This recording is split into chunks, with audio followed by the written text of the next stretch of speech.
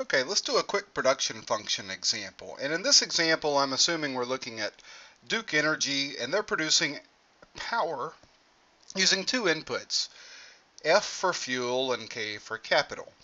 And usually in, in these problems, you'll have labor and capital, but I thought I would mix it up a little bit. Uh, let's look at the short run. We're assuming here fuel is a variable input and uh, capital is a fixed input in the short run let's see what kind of decisions we can make and how we solve for these.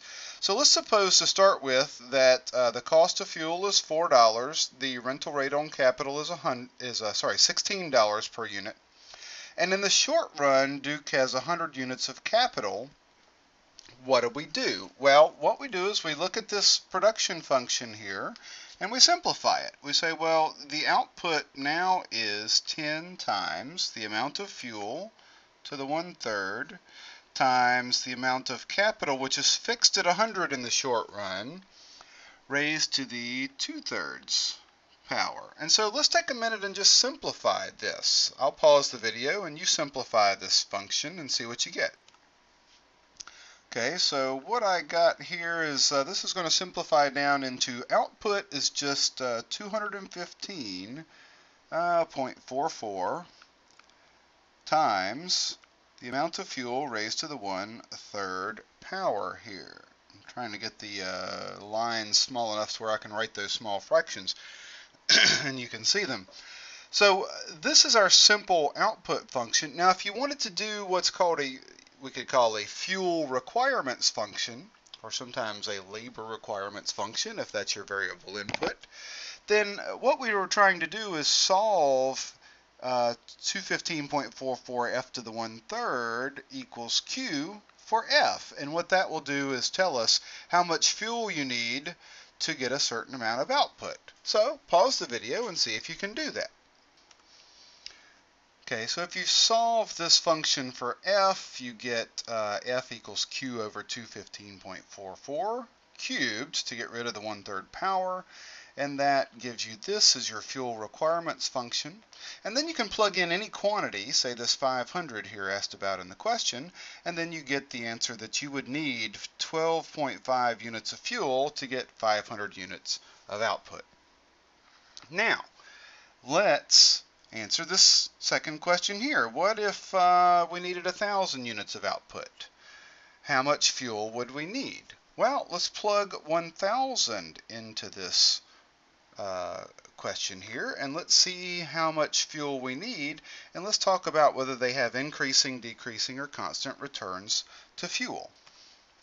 So plugging in a thousand in for Q, that get that we need a hundred units of fuel to get a thousand units of output. So do we have increasing, decreasing, or constant returns to fuel?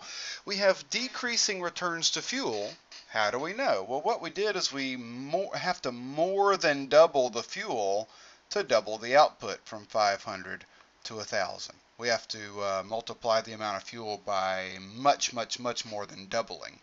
So this tells us that we have decreasing returns to fuel here. Okay, let's look at the next question.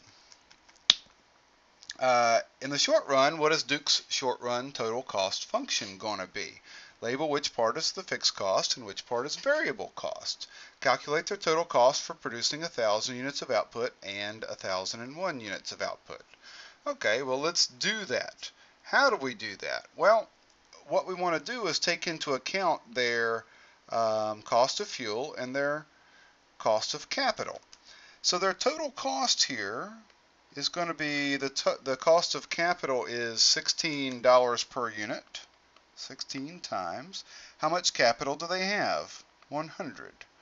Plus, what's their variable cost? Well, their variable cost for fuel is $4 per gallon times how many gallons they need. Now, a total cost function is a function of Q. So what we want to do here, instead of putting um, $4 times F, we want to put $4 times this, which is still equal to f, right? So times 0.00000001 q cubed. And what that does for us is lets us plug in any quantity and it'll tell us the total cost. So total cost equals 16 times 100, that's 1600, plus 0.000 0.0004Q cubed. And this is the fixed cost portion that doesn't change with quantity, and this is the variable cost portion that does change with quantity. Now all we have to do is plug in a thousand units and uh, a thousand and one and figure out how much our costs are and then we can talk about variable costs real quick. So take a minute and do that. Alright, so um, oh, sorry you can't you're not going to be able to see that very well over there but uh, I calculated the total cost of thousand units to be $2,000 the total cost of 1,001 units is going to be $2,001.20. So we can tell by looking at this that the marginal cost of the 1,001st unit is $1.20, $1.2 in other words. All right, D, what is Duke's short run average cost function? Calculate the average cost of producing 750 units of output. Well, to take a total cost function and get an average cost function, you just divide it by Q.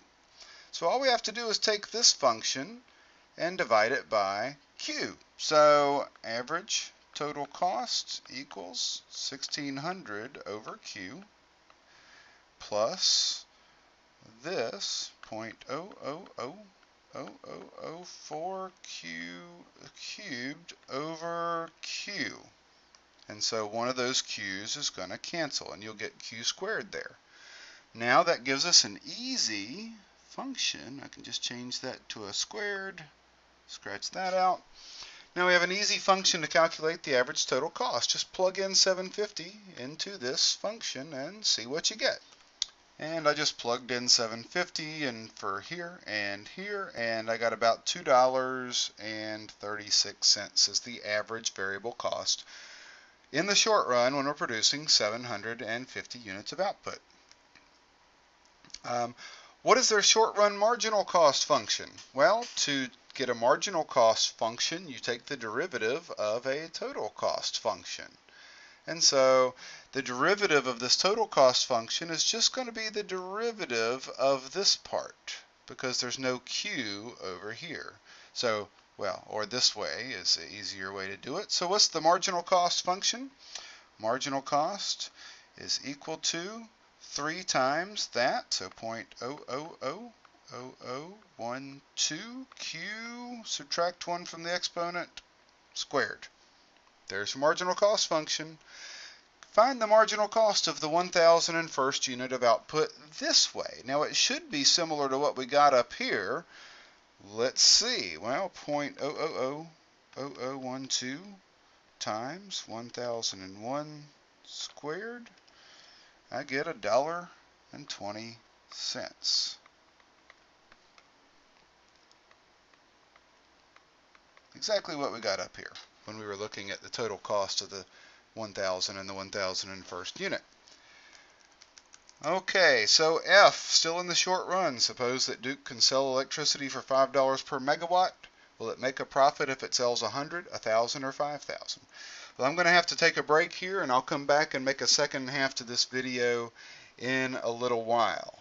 So see what you can do on this, and then I'll come back and finish this up in a little while.